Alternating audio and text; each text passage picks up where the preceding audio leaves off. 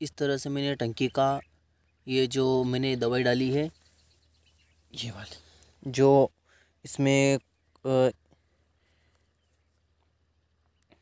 कीटार्जिन कीटार्जिन जो अड़तालीस percent IC मतलब कि ये कोई भी जड़ों में ये ग्रोथ करती है, बढ़ाती है, और ये मतलब कि लहसुन को कुछ भी पीलापन हो या कुछ भी हो मतलब कि फंगस हो तो इससे क्या है कि ये सारा मतलब कि दूर हो जाती है।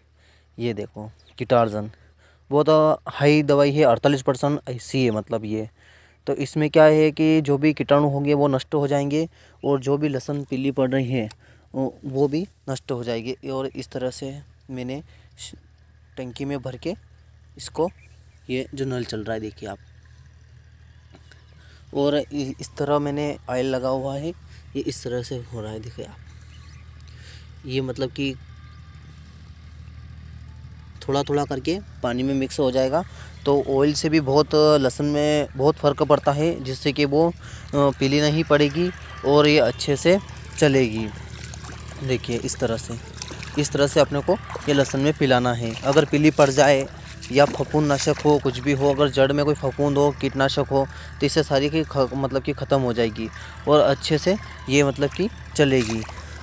इस तरह से पानी को पिला देना चाहिए लहसुन में। देखिए आप ये सारी लहसुन अभी मेरे को जैसे कि ये वाली, ये तो बहुत पीले, पीली पड़ रही थी, लेकिन मैंने क्या है कि यही यूज़ किया था। तो एक बार और मैंने यही यूज़ किया है तो इसलिए है कि पूरी तरीके से सही हो जाएगी। देखिए आप, इस तरह से पीली पड़ गई, बहुत ज़्यादा पीली पड़ गई थी, पहले अभी तो सुधर गई है, देखिए आप, ये वाली। जय हिंद, जय भारत, धन्यवाद।